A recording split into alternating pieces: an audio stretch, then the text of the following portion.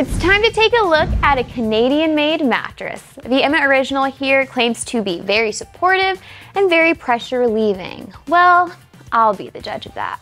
I'm Loren, editor and certified sleep science coach here at Mattress Nerd. I tested and reviewed hundreds of mattresses, and we are here in the Nerd Lab to run this bed through a series of geeky tests. I'm gonna give you my thoughts, we're gonna go in depth on performance, and I will give you my pro con list.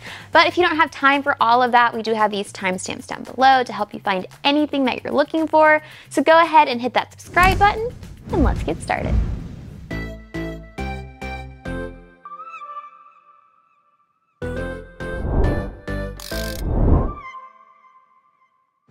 First up, I did want to let you guys know that Emma sent us this bed for free to test and review, and we may earn a commission if you guys decide to get one for yourself. That being said, we are still unbiased. I'm here to give you the facts, and that's still what I plan to do. So Emma is a Canadian-based sleep company, but they still ship free to the US. It'll arrive at your door in a box, and you'll have a full year to try it out, see if you like it. If you don't, you can return it for a full refund, but if you do, you get a 10-year warranty. Now, if you want to know more about Emma's policies in depth, you can check out our written review in the description. But if you came here for the details, let's get into those. I unzipped the cover and cut into the fire barrier of this bed to get a good look at the layers and see how they perform. But you don't want to try this at home because it will void your warranty or start a fire. So let's start with the cover. This is really breathable and moisture wicking and it's also removable and machine washable, which is really good if you have allergies. Now let's get into the meat of the bed. Right here we have something called air cell foam, which is supposed to be more breathable than regular memory foam so your body heat has somewhere to go. And then here we have a zoned layer of memory foam, meaning it's softer at the head and feet, but firmer in the middle so your body stays perfectly aligned. And lastly, we have our support layer with even more breathable channels. This is also supposed to help keep your bed from sagging prematurely.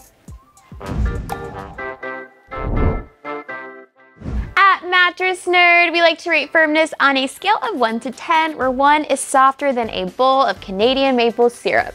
And the Emma Original is a 6.5 out of 10 on this scale, making it medium firm, which is best for back and stomach sleepers. But we also want to see how well this bed responds to your movements using this lacrosse ball. So as I bounce it on the floor, you see it comes right back up to me. Now let's try this on the mattress surface. So as I do this, I'm getting more bounce than I would expect from a foam mattress. So if you're a combo sleeper who loves the feeling of foam, this is a great option for you. Now, if you take nothing else away from this mattress review, know that a bed's gonna perform differently based on your sleep position and body type. So these two factors are crucial. So I'm gonna go over how the Emma works for side, back, and stomach sleepers, starting with side sleepers. Now, you guys need a mattress that keeps the spine in a straight line and keeps pressure off of the hips and the shoulders. Now, this bed claims to be very pressure relieving. Unfortunately, our pressure maps didn't agree. Now, average to heavyweight sleepers saw a little bit of pressure in their joints, but really lightweight sleepers saw the highest concentration of pressure in the hips and the shoulders, so that's something to be aware of. Now on to back sleepers. You need a mattress that maintains the natural S-curve of your spine, and this bed and its foams does a really great job at keeping you aligned on the Emma mattress for all back sleepers. Now onto stomach sleepers, like me. We just need a bed that's firm enough to keep the hips elevated and spine aligned. Now this bed is firm enough for light to average weight stomach sleepers, but heavier stomach sleepers are gonna want a more supportive bed, like a hybrid. Um, I suggest the Emma Climax. If you sleep with a partner, pet, or child and their movements often wake you up, that is what we are testing for, motion isolation, aka a bed's ability to stop motion at the source and keep it from transferring across the mattress and waking up your partner. So here's the test. I placed a beaker of liquid on that side of the bed. The movement in that beaker will signify how much movement you feel as I disturb the bed over here. So as I press my hands into the mattress, mimicking the feel of tossing and turning, there's barely any movement, but we're gonna test this further with a weighted ball. I'm gonna drop it in and out of bed to simulate someone getting in and out of bed. And as I do this, not too much more movement. This bed is really good at motion isolation, which shouldn't be surprising because it is an all foam mattress. Now I'm gonna test edge support. And edge support refers to the level of support you're gonna get around the perimeter of your mattress. It's really good for people with mobility issues who need the edges to get in and out of bed, couples who want some space from each other, and of course, edge of the bed sleepers.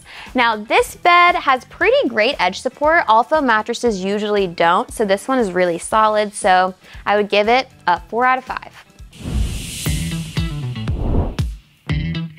Now that we went over all the performance factors, let's see how much this mattress costs. Now I've tested and reviewed hundreds of queen size mattresses and we usually find that the price ranges between $500 to $3,500. Now this bed falls right around $1,500 for a queen, which is pretty pricey for a foam mattress, but prices and sales are always changing, so check the link in the description for the most up-to-date pricing. All right, folks, we are almost at the end, but here I have that pro con list. I made a list of the three best and worst things about the Emma original. I like to start out with the bad news, so let's get into the cons. First up, Lighter weight side sleepers are not going to find the pressure relief that they need out of this mattress. But the nerds and I made a list of our favorite side sleeping mattresses that I will link in the description below. Next up, this all foam bed may not offer enough breathability for hot sleepers. Same deal here. The Nerds and I made a list of our favorite cooling mattresses that I will link below as well. And our last bit of bad news, this bed can be pretty pricey. So again, we have our favorite affordable mattresses in the description below if you wanna check them out. But there is some good news, so let's get into that. First up, Couples are really gonna enjoy this mattress. It's responsive enough for sex, but it isolates motion well enough for sound sleep, which is a great combination for couples. Next up, back sleepers should love the Emma mattress. Those foams really hug the spine. And finally, combination sleepers should have a very easy time moving around on this bed. So bottom line, is the Emma Original good at pressure relief? Kinda. It's really good for back sleepers and most stomach sleepers, but I would recommend that side sleepers pass on this mattress. Do you agree? Do you disagree? Let me know in the comments below, and while you're at it, go ahead and like this video and subscribe to our channel. It always helps. And for more content like this, visit mattressnerd.com or follow us on Insta and TikTok. Thanks for watching. Bye. Now let's look I didn't know what I was going to say after that because the bed's going to perform bit differently on social. Follow us on social. I meant to say on Insta.